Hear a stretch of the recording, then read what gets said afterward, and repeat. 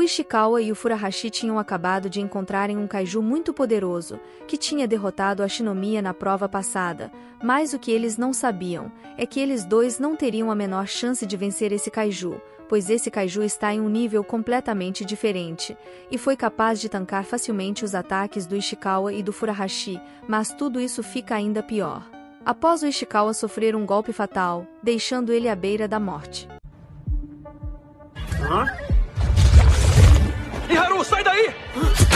O traje vai proteger você. Quem é você, hein, ô seu fudido? É o mesmo Kaiju que a gente viu na prova.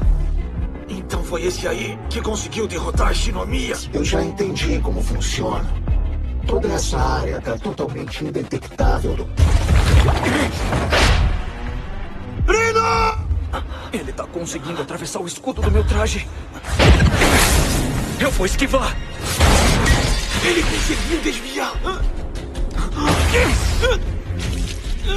Se nem a Shinomiya conseguiu aguentar, eu não tenho a menor chance. Pelo menos eu posso ganhar tempo. Mas eu aposto que não sabia disso aqui.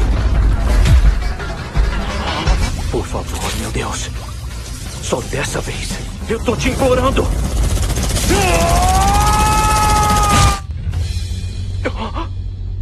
Espera aí.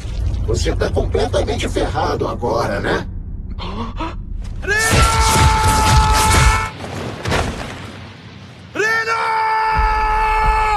Eu ainda tô vivo. Essa luta não acabou.